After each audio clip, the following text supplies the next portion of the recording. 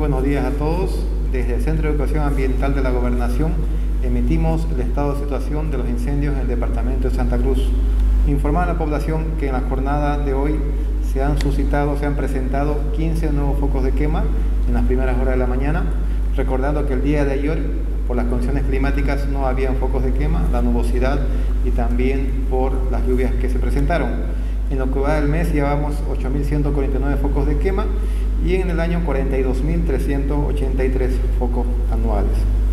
También indicar que a la fecha ya ha disminuido la cantidad de incendios considerables, entendemos por las condiciones climáticas que se están dando en los últimos días, donde tenemos apenas un municipio con tres puntos de incendio.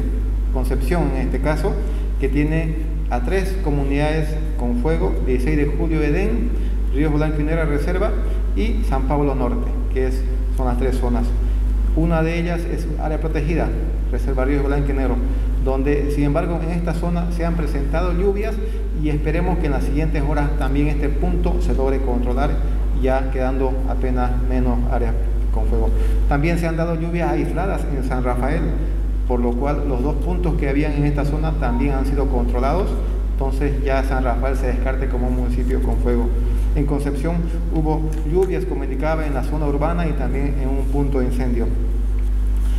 Hasta el momento ya se han dado 241 emergencias por incendios forestales en lo que va del año. Tenemos 32 personas movilizadas, 7 grupos voluntarios movilizados y 9 vehículos y una maquinaria pesada.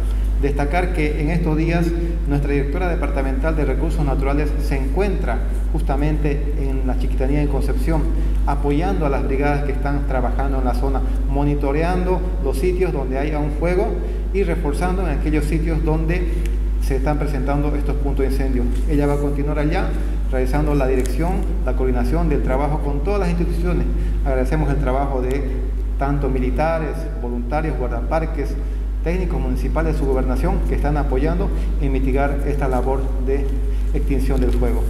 Asimismo también aprovechamos la ocasión para dar una recomendación a la población, ya que la lluvia ha dado un respiro, ha dado una pausa para que los focos de quema disminuyan, para que los incendios bajen, que ya no se vuelva a quemar. Por lo cual pedimos a los usuarios de fuego que nos ayuden a prevenir los incendios forestales, evitando realizar nuevamente incendios, realizando chaqueos para que no se dé eh, el fuego. Asimismo, pedimos a las autoridades nacionales competentes del nivel nacional del Estado, la ABT en este caso, el Ministerio Público, la Policía, que también, debido a esta pausa que hay en lluvias, aprovechemos para hacer un monitoreo, aprovechemos para que se dé con los responsables y esto nos permitirá pues de alguna manera eh, disminuir también el índice de quemas porque para que en los siguientes días no se dé más incendios, debería haber sanción a los responsables y para evitar que se siga dando quema.